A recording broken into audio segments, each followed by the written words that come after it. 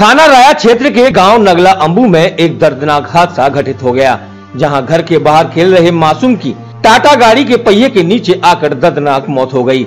इस हादसे के बाद घर परिवार में कोहरा मच गया। बताया गया कि तीन वर्षीय मासूम अपने ननिहाल गाँव नगला अंबू में आया हुआ था। सुबह ये मासूम बच्चा घर के बाहर खेल रहा था।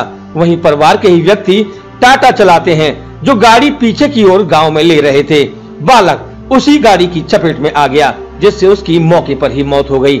मौके पर पहुँची पुलिस ने शव को पोस्टमार्टम के लिए भिजवा दिया। इस संदर्भ में परिजन दिनेश ने जानकारी दी। चार लाला हमारे परिवार की? तो लाला बच्चों को खेल लो। खेलते खेलते लगो बाकी टायर के पिछले पहिए के नीचे आया वो।